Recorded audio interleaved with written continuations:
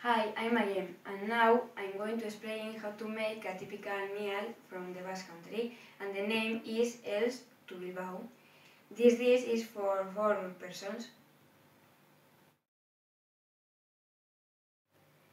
500 grams of eels, chili pepper, olive oil, and two garlic cloves.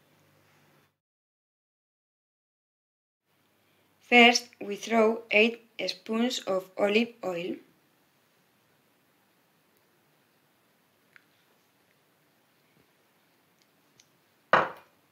A piece of chili pepper.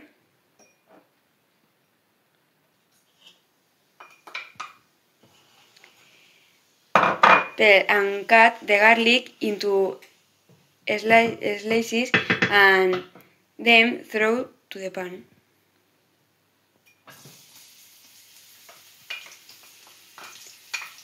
And wait two minutes more or less. Now add the eels before the garlic is fully fried and and stir them constantly for 5 minutes more or less.